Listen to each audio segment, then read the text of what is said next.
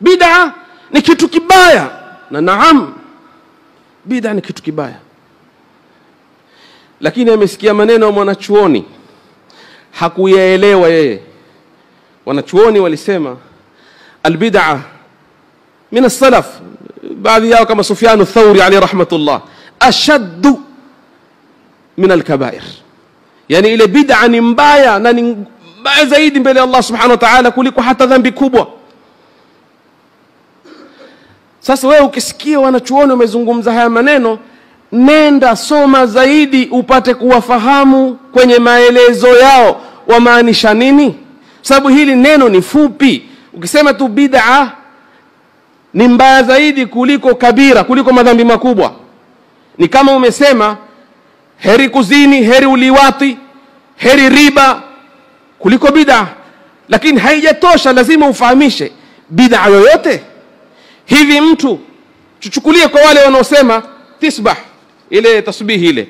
Kwa wale wanaosema ni bid'a mimi sisemi kama ni bid'a. Lakini kwa wale wanaosema kushika tasbihi ni bid'a. Kwa wale wanaosema. Hivi ni kweli heri kuzini kuliko kuliko tasbihi? Yaani ni kweli ndivyo walivyomaanisha wale wanachuoni kwamba ukenda ukafanya uwe khanithi wewe uchapwe kule ni afadhali kwako kuliko kushika tasbihi? Ndivyo walivyomaanisha maulama watu kukaa msikitini wawe wafanya bid'a wamswalia mtume sallallahu alaihi wasallam. Hivi ni afadhali watu wakusanyike msikitini wazini ndani ya msikiti? Na iwe ni afadhali kuliko wao kumswalia mtume sallam kwa kuwafanya wafanya bid'a? Ndivyo walivyomaanisha wale maulama. Mtu aweza kujaza kinywa mbele za waislamu akasema heri yule mwimbaji katikati ya wanawake wacheza uchi wacheza disko na nyimbo chafu washikana shikana heri yule akikuswalisha mfuate kuliko naimba kasida. Mtu amsifu mtume sallallahu alaihi wasallam. Na watu wengine wachukua ni kweli maana. Eh hoja yako sababu ulama wasema albid'atu ashaddu min alkabir. Ndivyo walivyomaanisha wale. Sasa mimi nawaeleza. Hao maneno wanazuoni waliyazungumza. Lakini walivyomaanisha wao walimaanisha kwanza bid'a kufriyan. Bid'a katika masala ya itikadi. Bid'a katika masala ambayo ukiyafanya yaweza kukuingiza kwenye ukafiri. Bid'a mfano bid'atul khawarij aljahmiya almu'tazila masala ya kiimani. Ndipo waliposema kwamba ile bid'a ni mbaya zaidi. Ujue kuna wengine waliyazungumza hayo hata maulidi ilikuwa hayakuna sasa kama nyinyi hamuelewi someni kwanza. Msibandike mambo kwa sababu kuna baadhi ya madhambi ni mabaya zaidi kuliko bid'a ambazo ndogo ndogo. Naam huwezi kufananisha uzinifu na kushika tasbihi kwa wale wanaoona tasbihi ni bid'a wala huwezi ukafananisha uliwati na baadhi ya mambo wanachuona wametofautiani kuhusu bid'a wake. Mathalan kunuti katika salatu lfajr, kuna baadhi ulama madhhabu alhanbali waona ni bid'a kunut katika salatu alfajr. Ama imamu malik na imamu shafii wao wanaona ni sunna. Kwa hivyo ni masala fi khilaf. Huwezi ukasema bid'a hii ya kunutu alfajr ni mbaya zaidi kuliko uliwati. Wallahi hata mwendawazimu watakucheka ghair maqul. Sasa wale watu wadogo wadogo wasioelewa wachukua haya mambo wanakwenda kuwapiga watu vita na kuwatia watu katika ukafiri na katika bid'a. Wema wakawafanya waovu na waovu wakawafanya wema. Umchukue mtu anayemswalia mtume kwa kumsifu ni muovu na yule anayeimba haya mchukue huo ukamfanya uchafu uzini naye amechukua ameweka wa watu ni afadhali yule. Ni akili gani hii? Zote hizi katika fitna za shubuhati. Na imeletwa na nini? Takdis kutukuza wanawachuoni. Sisi twajua kwamba qurani na sunna hatuwezi kuielewa mpaka kupitia fahamu za wanawachuoni. Hiyo ni muj- kabisa hatuwezi kusema quran na sunna quran na sunna tutaelewa vipi sisi? Si mpaka tupitie kwa fahamu za wanawachuoni? Lakini wanawachuoni wale na fahamu walizo nazo haifikii kwamba wakishakuelewa wao au kusema wao kwa sampuli yoyote ndio ishapita hapana. Hata wao wenyewe wao wenyewe katika statement zao wasema siku mtakapoona maneno yetu yamekwenda kinyume na yale mafundisho sisi tuko na hayo mafundisho msishike yetu.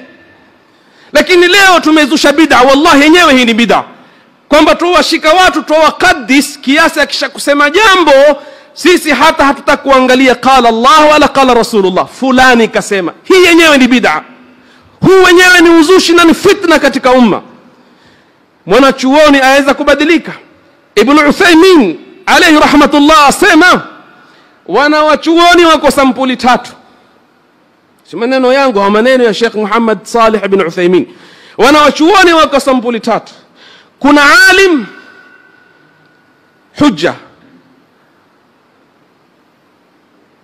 alim milla wa kwanza. Alim milla. Na kuna alim daula. Na kuna alim umma. hawa ni wangapi? Watatu. Mwanachuoni wa kwanza ni mwanachuoni wa dalili mwanachuoni wa dini. Atazungumza dini inavyozungumza na mungu anavyotaka na mtume alivyofunza bila kujali watu watasema nini wala serikali itasema nini? La yakhafu fi llahi laim huu ndi alim rabbani wa mungu wa dini. Na kuna alim daula. Mwanachuoni anayekwenda na serikali. Wamewekwa special hawa. Statement zao lazim ziende sambamba na serikali inavyotaka. Serikali leo ikiwa na msimamo huu fatwa zote zitakwenda kwenye msimamo ule. Serikali ikichenji fatwa zote zitachenji mwanadamu muislamu abadilisha fatwa. Naam.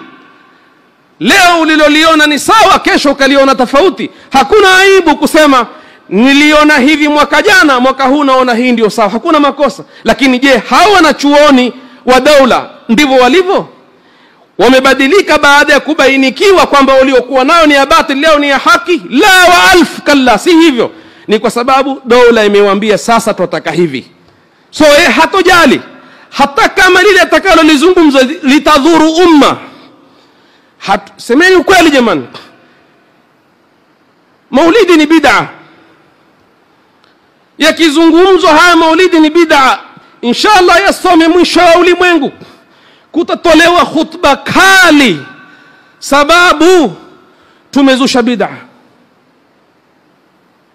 Hata kama ni masala ya khilaf japo wengine hawakubali mpaka leo kwamba haya ni masala ya khilafu mimi nakubali. Na ikiwa kwa kukubali kwangu kwamba maulidi ni masala wanazuoni wametofautiana ndilo litakalonifanya mimi ntolewe na nitolewe. Ntasema lile linaloliona kuwa mimi ni haki kwamba haya masala yana khilafu wako ulamaa wa kisunna kadhaa wanaokubali kuwa maulidi lakini kwa namna walivyoieleza wao. Si kwa namna hii. Kwa namna hii inayofanywa leo chakata na kukatisha viuno barabarani hata wao hupinga hili. Tuelewane vizuri. Hao watazungumza watu na watayapinga.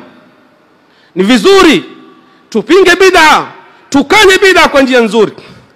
Huwaje leo maulidi ya isa akawa yafaa ya mtume muhammad ni bid'a lakini maulidi ya jesus yafaa na yakafanywa kwa nderemo na sheshegi na mataa na miti na watu wakaimba na wakafanya kila kitu.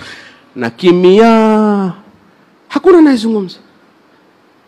Hamuoni kwamba lile la kupingwa lile watu fulani walilitaka likapingwa. Na hili wenyewe hawataki lipingwe. Hii ndio aina ya wana wachuoni wa daula. Hawasemi kitu. Baadhi mmoja wao alijitokeza saa akasema walii wa amr akatoka kwenye tv kila siku nusu saa akawa yuwazini pornography ndo maana yake. Atoke kwenye shasha kwenye kioo cha tv kila siku nusu saa iwazini ama afanya uliwapi asiambiwe kitu. Msimpinge msimpinge hadharani. Yaani msipinge hayo mambo. Hayo pia wameshayasema. Lakini mwanachuoni mwenzao msomi mwenzao akakosa kwenye jitihada ndogo watamfanyia tashhiri dunia nzima kwa kumtaja na majina sa. Kafanya hivi kafanya hivi. Lakini yule waliu amr azini aibe adhulumu afunge watu ambao ni innocent afanye yote. Ageuze kila kitu bendera yenyewe. La ilaha illallah iwe ni mkombofu kwa kwenye viuno wanawake wakatisha pia ni sawa. Hii ndio fitna.